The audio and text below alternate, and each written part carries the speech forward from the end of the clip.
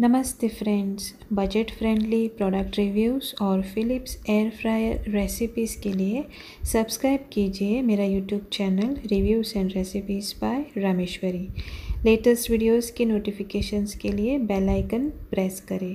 Product ख़रीदने के लिए डिस्क्रिप्शन में जाएँ लिंक पर क्लिक करें। यह है I F B dish washer Neptune V X और इस वीडियो में आप देखने वाले हैं ये जो किचन आइटम्स आपको दिख रहे हैं, वो डिश वॉशर में आसानी से हम कैसे क्लीन कर सकते हैं उसका वीडियो सबसे पहले मैंने एक teaspoon IFB dish washer detergent डाला है डिटर्जेंट कंपार्टमेंट में।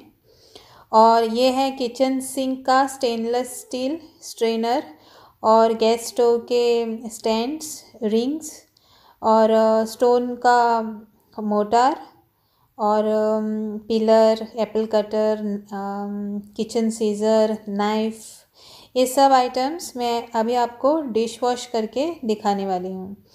ये जो स्टोन का मोटर है, जिसमें मैंने लहसन पीसी थी, उसको लहसन का बास आता रहता है। लेकिन जब हम इसे डिश वॉशर में डालते हैं डिश वॉशर में क्लीन करते हैं तो ये साफ़ भी होता है और बदबू भी निकल जाती है। और किचन स्टोव के जो स्टैंड्स हैं, जो जो ऑयली होते हैं, वो भी आसानी से डिश वॉशर में क्लीन हो जाते हैं। तो मैंने ये आदत सी बना ली है, ये सब आइटम्स मैं डिश वॉशर में ही साफ़ करती हूँ। तो ये देखिए, मैंने ये इस तरह से रख दिए हैं।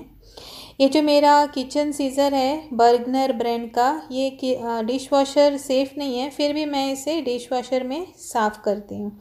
अभी तक कुछ भी प्रॉब्लम नहीं है उसे।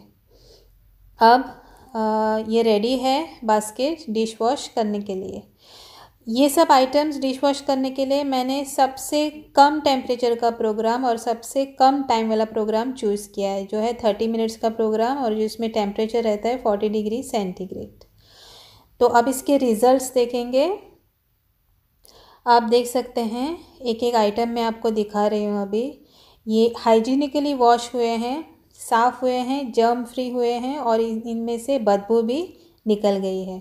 और ये सब आइटम्स एफर्टलेसली क्लीनिंग होके रेडी है फिर से यूज़ करने के लिए। ये वीडियो आपको कैसा लगा, ये कमेंट बॉक्स में ज़रूर लिखें। और कुछ सवाल हो आपके डिश वॉशिंग से संबंधित या फिर आईएफपी डिश वॉशर से संबंधित तो भी कमेंट बॉक्स में ज़रूर लिखें। ये देखिए, ये किचन सिंक का जो स्टेनलेस स्टील का स्ट्रेनर है, उसे साफ़ करते रहना रहना पड़ता है।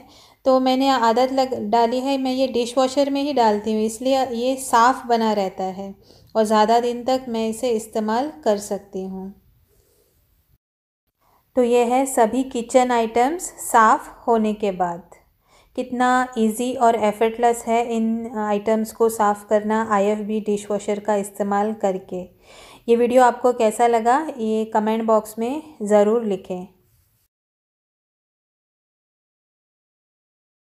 सब्सक्राइब कीजिए reviews and recipes by Rameshwari. Notifications के लिए बेल आइकन प्रेस करें। इस वीडियो को लाइक करें, शेयर करें। प्रोडक्ट्स खरीदने हैं तो इस वीडियो के डिस्क्रिप्शन में दिए गए लिंक पर क्लिक करें। Thanks for watching.